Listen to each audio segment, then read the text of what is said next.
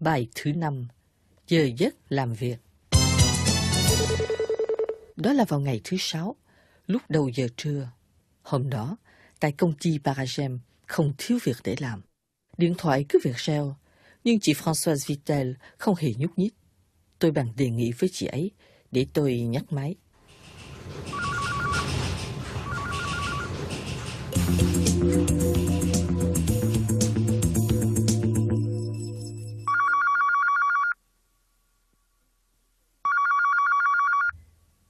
Est-ce que je réponds? Oui, s'il vous plaît, je suis occupée. Société Paragem, bonjour.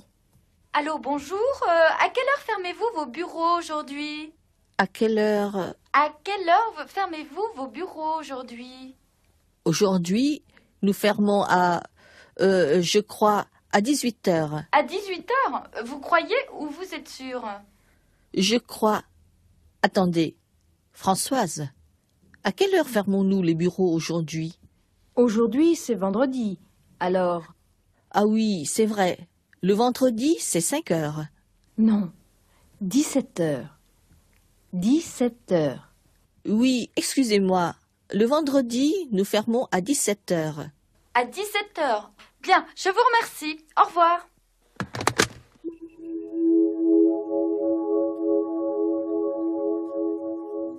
Cinq heures, 17 heures, 17 heures, 5 heures. Như vậy là khi cho biết giờ giấc một cách chính thức, như giờ làm việc, giờ máy bay, giờ tàu chạy chẳng hạn, ta phải dùng hệ thống 24 giờ. Buổi sáng, người Pháp bắt đầu làm việc vào lúc 9 giờ, 9 heures.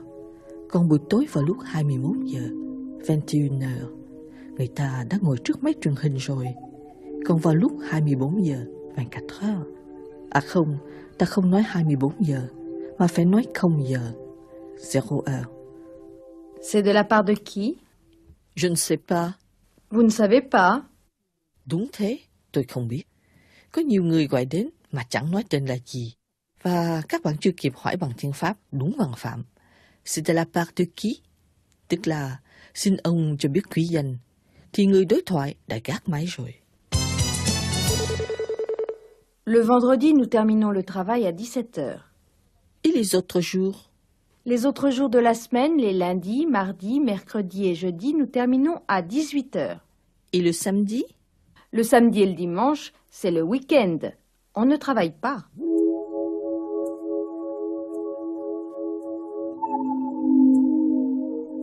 Lúc không giờ thì hẳn là ta đã lên giường rồi. On ne travaille pas. Như vậy có thể dùng on thay thế cho nous. Có điều là phải nhớ chia động từ ở ngôi thứ ba số ít. On travaille, chứ không phải là on travaillons.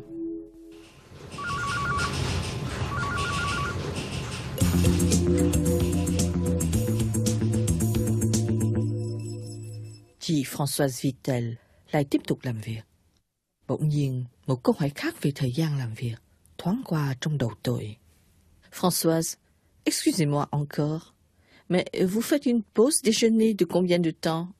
Une pause de 1 heure entre 13h et 14h. Ah, je comprends. En France, vous faites toujours une pause déjeuner de une heure? Non, pas toujours. À Paris et dans les grandes villes, la pause déjeuner dure souvent une heure. Mais dans les petites villes ou à la campagne, elle dure deux heures. Deux heures? Oui, deux heures. Mais leurs horaires de travail sont différents. 8 heures, 12 heures, 14 heures, 18 heures. Françoise, j'ai très faim. Vous avez raison, Daniel. Il est 13 heures, c'est l'heure du déjeuner.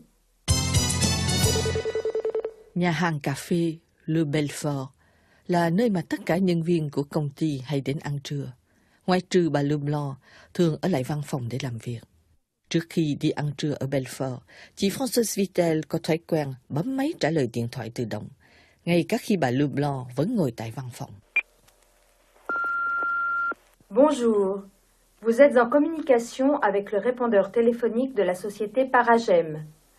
Nos bureaux sont ouverts les lundis, mardis, mercredis, jeudis, de 9h à 13h et de 14h à 18h, ainsi que le vendredi, de 9h à 13h et de 14h à 17h. Ở Pháp, thời gian làm việc là 39 tiếng mỗi tuần. Nhưng thường thì giới lãnh đạo xí nghiệp như bà Leblanc hoặc ông Petitbon làm việc nhiều hơn. Thỉnh thoảng, họ cũng yêu cầu các nhân viên như chị Françoise Vitel làm thêm giờ và những giờ phụ trội này được trả cao hơn là 39 tiếng quy định. Et vous, Daniel, combien d'heures on travaille dans votre pays Oh, dans mon pays, Françoise, on travaille 24 heures sur 24, 7 jours sur 7. Khi trở về nhà, tôi nghĩ lại ngày làm việc vừa trôi qua và có những mẫu đối thoại hiện lại trong đầu.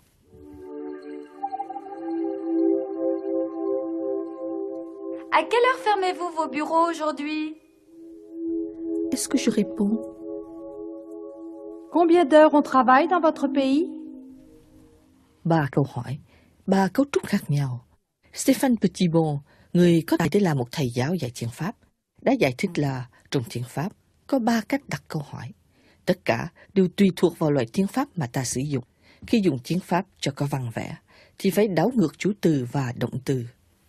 À quelle heure fermez-vous vos bureaux aujourd'hui Trong tiếng Pháp chuẩn hay thông thường thì ta sử dụng cách est-ce que. Est-ce que je réponds? Và cuối cùng, trong tiếng Pháp bình dân thì ta sử dụng giọng nói lên giọng ở cuối câu. Combien d'heures on travaille dans votre pays?